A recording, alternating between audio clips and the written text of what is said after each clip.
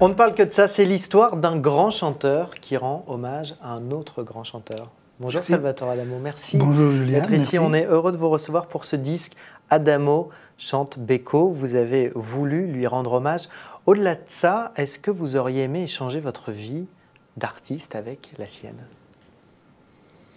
Oh, Nos vies doivent euh, se ressembler un peu dans, les grandes lignes.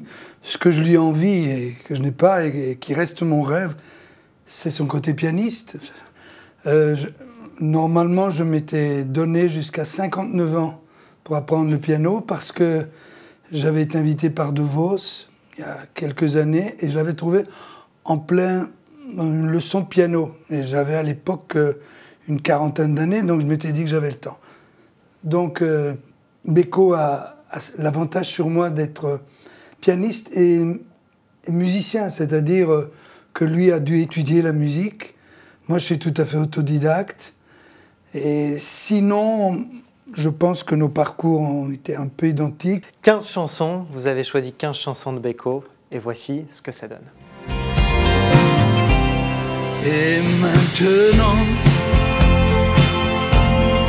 que vais-je faire? Je vais en rire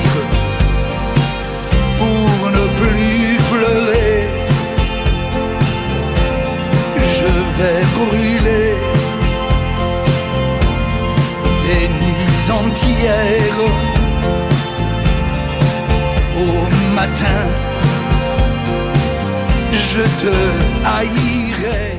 On retrouve votre timidité euh, légendaire quand on doit vous écouter chanter Adamo, non? Oui, oui, oui. Euh, je, l'aperçois aussi. Il y a quelqu'un là-bas qui chante, c'est vous, Adamo. Il y, a, il y a quand même, euh, de ma part, la, la, prudence de, de ne pas provoquer la comparaison avec mon maître. Vous dites en effet que ce sont des chansons qui marquent. Vous d'ailleurs, ce projet, il est né euh, finalement sur scène, un soir où vous n'avez pas pu chanter et maintenant jusqu'au bout. Voilà, exactement. C'était le, jour de la disparition de, Gilbert Bécaud.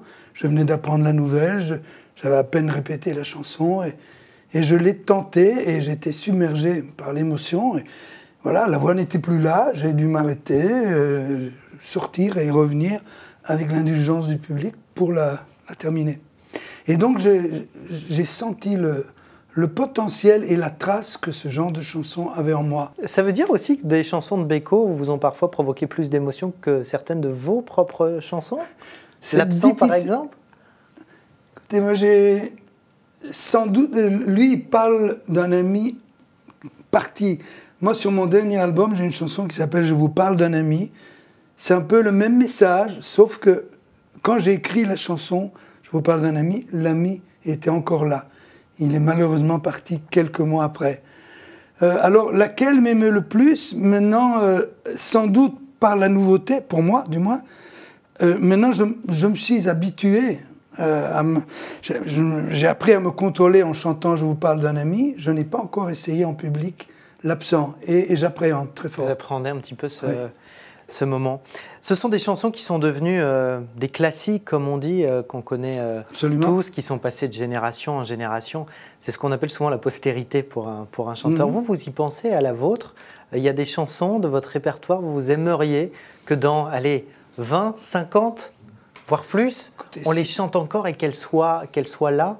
Écoutez, s'il y a une chanson qui me survit, ce sera déjà ça. J'aurais laissé ma petite trace, mais je n'ai aucune prétention. C'est important ou ça provoque ben, justement une émotion ou bon, Mais ça fera peut-être plaisir à mes descendants. Moi, je ne sais pas si, d'où je serais ou d'où je ne serais pas, je pourrais capter euh, cette sympathie qu'on aurait gardée pour moi. Mais si, si c'était le cas, euh, tant mieux. Mais vous, la chanson à laquelle on pense tout de suite, votre Et maintenant à vous, c'est quoi? C'est Tombe la neige? C'est sans doute Tombe la neige, oui. C'était. Effectivement, euh, elle compte beaucoup parce que c'était la chanson préférée de mes parents. Et c'est une chanson qui m'a ouvert des portes insoupçonnables en Extrême-Orient, au Japon, au Moyen-Orient, et même, même aux États-Unis où je chante de temps en temps, mais pour les néo-américains, pas pour les anglophones purs, eh bien, Tombe la neige est là aussi. Et ça leur rappelle. J'imagine en revanche que ce n'est pas forcément votre préféré à vous. Je la chante avec beaucoup, beaucoup de plaisir. Euh, je ne me suis jamais permis de, de l'analyser parce qu'elle elle est sortie tellement spontanément. J'avais 18 ans.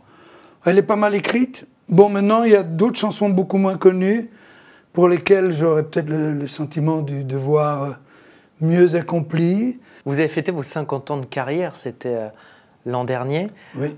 Quand on a 50 ans de carrière, euh, ce succès, vous dites l'amour que les gens euh, vous portent encore aujourd'hui. Qu'est-ce qu'on a encore à, prouver, à accomplir? Mais Tout.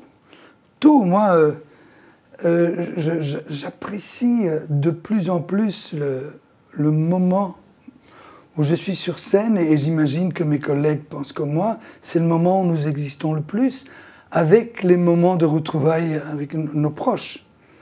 Donc, euh, je, ne sais pas ce que j'ai approuvé, mais j'ai approuvé au public qui est là ce soir-là que ça valait la peine qu'il se déplace. c'est peut-être, euh, je suis peut-être, oui, je suis timide. Je pense que je suis modeste, mais je dois avoir en moi une, une ambition, un amour-propre euh, très fort. Est-ce que justement, euh, après toutes ces années, il y a des malentendus que vous voulez régler avec les gens? Je parlais tout à l'heure de votre timidité, ça a été souvent perçu euh, pour un côté très lisse. C'est la seule critique qui revient parfois dans les articles, c'est de dire bah, c'est un chanteur, ma foi, très sympathique, mais très lisse. souvent, on a mélangé la timidité, j'ai l'impression, avec un défaut qui n'en est peut-être pas un.